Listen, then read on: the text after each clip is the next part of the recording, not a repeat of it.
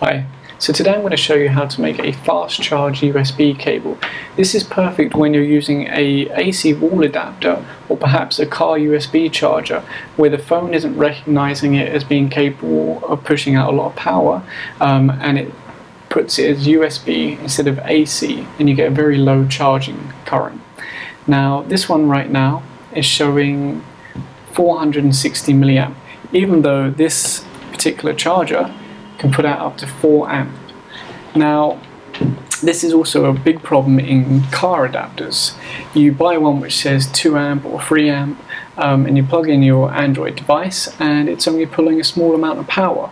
Um, now this is very easy to fix.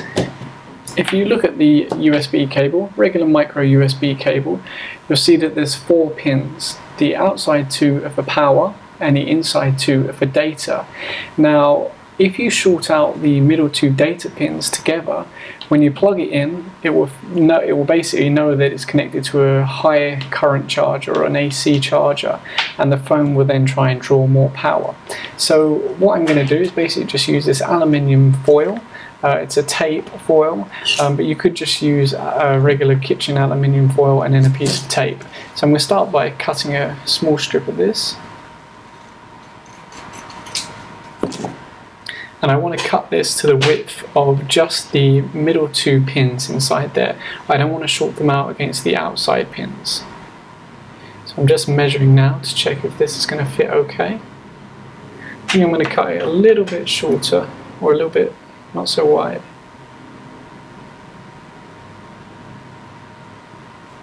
Okay, I think that strip should work. Let's measure that.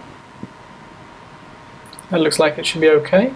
So I'll just peel off the paper backing. Got my knife around here somewhere. just here.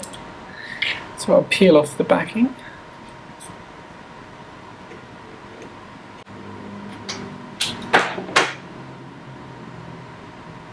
There we go, and you'll see that this is just pure aluminium foil. And I'm going to place it inside carefully just to cover the two middle data pins. Once that's in there, I'll push it down with my knife.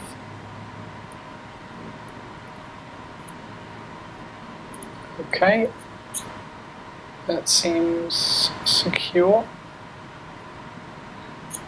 And I'll just cut off the excess.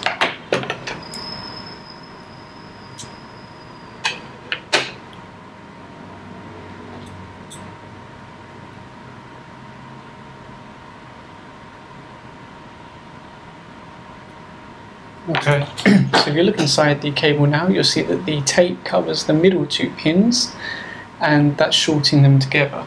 Not sure how well you'll be able to see that on the camera. So let's reconnect it to our charger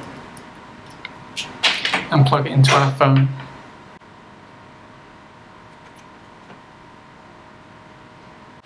You'll see it now says that it's charging from AC. Let's check how much current it's pulling in. 1200 milliamp. So all we've used is a piece of uh, aluminium foil tape and like that we've hugely increased our charging capacity so it's going to charge much quicker. Um, that's good for any kind of uh, AC adapter that it's not recognizing as an AC adapter and especially useful for car chargers. Um, pretty much every car charger I've bought when I plug in my Android phone, it's only pulling in 450 or 500 milliamp, um, which is really the bare minimum. So just modify a cable like this and it's going to charge much quicker.